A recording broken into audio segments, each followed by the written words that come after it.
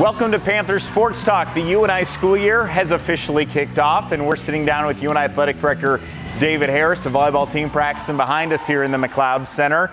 And a new year, a fresh start. It feels a little bit different than where we were last year at this time. Why are you excited for the opportunities in front of your staff and, and these student athletes here in 2021? I'm excited because it feels a lot different than it did last year at this time. Just listening uh, to the sounds behind us or the volleyball student athletes practicing makes me remember that last year at this time, we didn't have fall sports. We had just made the decision that we were moving the fall sports to the spring. So it was a relatively quiet fall for us.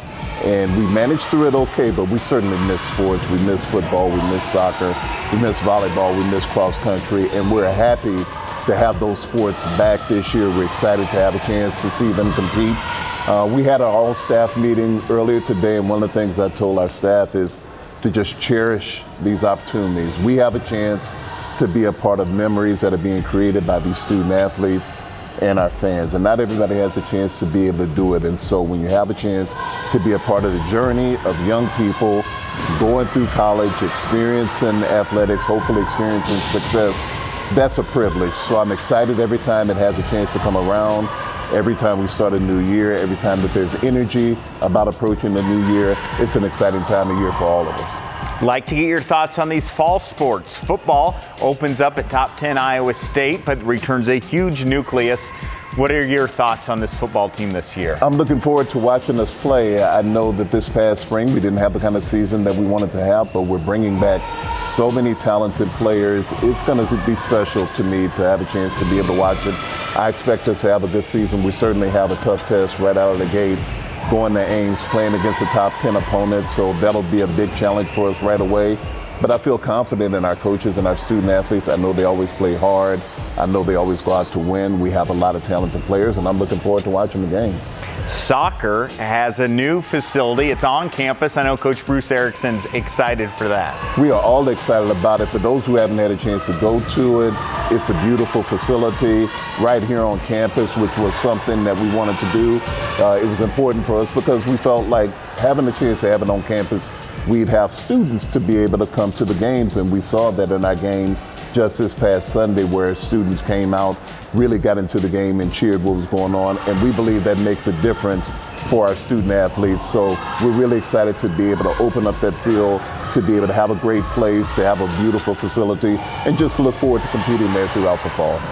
Volleyball is led by the best coach in the country, Panther alum Bobbi Petersen, and uh, expectations are high for her. I know uh, dealing with some adversity with a quick turnaround playing in the spring and now the fall. Sure, our, our fall sports are in that position where playing two seasons in one year is going to be challenging, but you're right we're fortunate. We have something that other programs don't have, and that's the best coach in the country.